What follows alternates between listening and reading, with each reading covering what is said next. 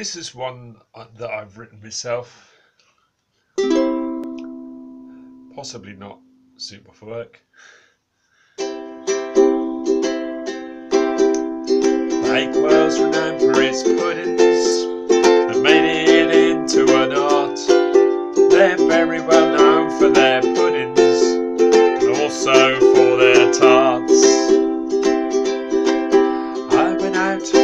walking in the peaks last week, Visitors and pretty places included a mill.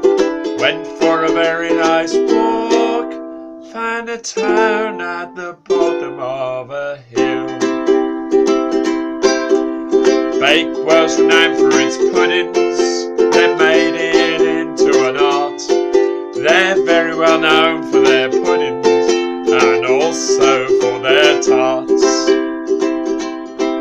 There's some very nice little shops there and a market you can see. A very nice lady came up to me and invited me in for tea. At least that's the impression I got.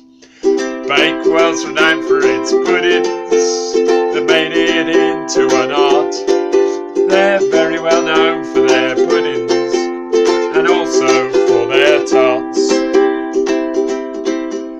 accepted the invitation.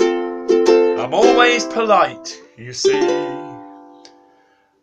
Wonder whether I'll get pudding or Bakewell tart for tea. Bakewell's known for its puddings, that made it into an art. They're very well known for their puddings and also for their tarts.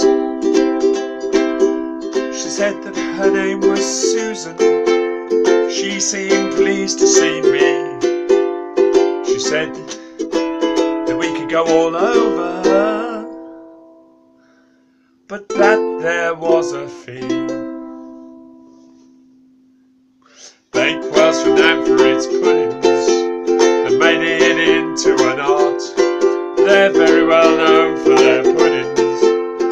Also for their tarts. Well, I had to decline her offer, not having the cash with me. But I hope that the next time that I visit, she'll go sightseeing with me. Bakewell's renowned for its puddings, they've made it into an art.